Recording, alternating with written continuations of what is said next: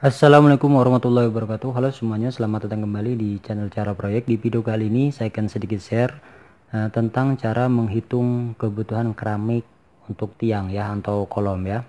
Cara menghitung kebutuhan keramik untuk untuk kolam. Nah tapi seperti biasa bagi teman-teman yang belum subscribe silahkan subscribe sekarang dan aktifkan tanda lonceng di sebelahnya Supaya teman-teman menjadi orang yang pertama yang mendapatkan notifikasi tentang channel ini. Dan tanpa panjang lebar kita akan jelaskan di video kali ini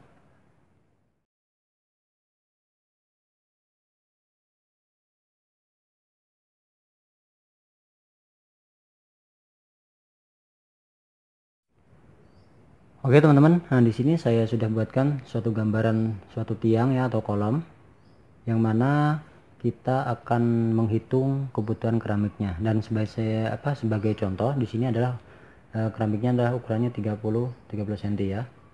Maka kita kalikan ya 0,30 ini kita kalikan 4 karena 4 sisi kan. 1 2 3 3 4 4 sisi. Maka kita kalikan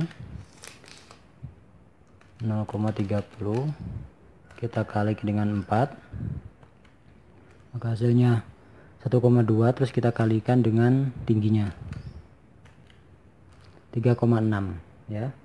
Hasilnya adalah 3,6 berarti sebentar 0,30 kita kali 4 4 sisi ini ya 1 2 3 4 1,2 kita kalikan dengan 3 hasilnya adalah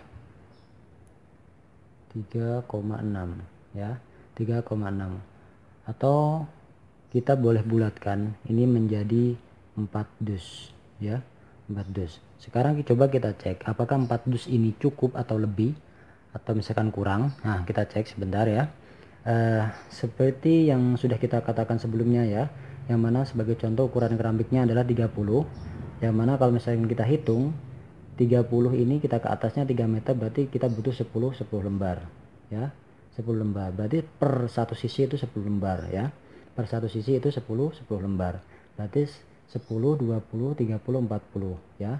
Berarti 40 itu kita butuhkan 40 40 lembar ya.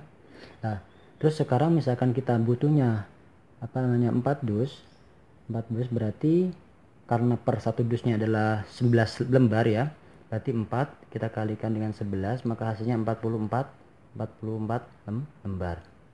Loh kok masih lebih 4 iya karena keramik itu tidak bisa uh, beli satuan ya. Tidak bisa beli tidak bisa beli satuan. Kalau misalnya 3,6 masih kurang ya. Kalau misalnya teman-teman belinya 3 dus atau apa ya belinya 3 dus itu masih kurang. Atau misalnya tiga setengah nggak bisa. Keramik itu belinya tiga setengah nggak bisa. Harus misalkan tiga ya tiga. Kalau empat ya empat ya karena keramik kita tidak bisa beli beli satuan ya.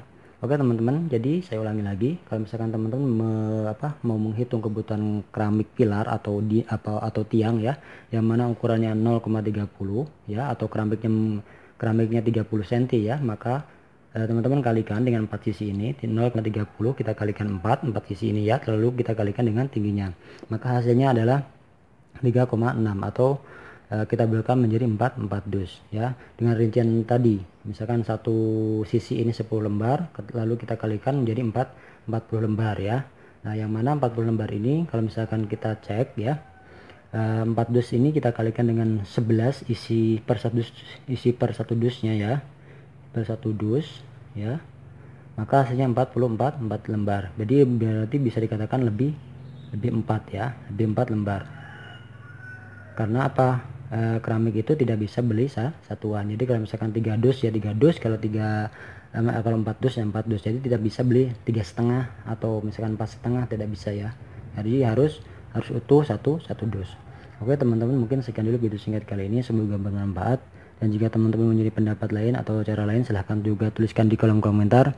Mohon maaf atas segala kekurangan dalam bentuk apa pun sampai jumpa di video selanjutnya. Wassalamualaikum warahmatullahi wabarakatuh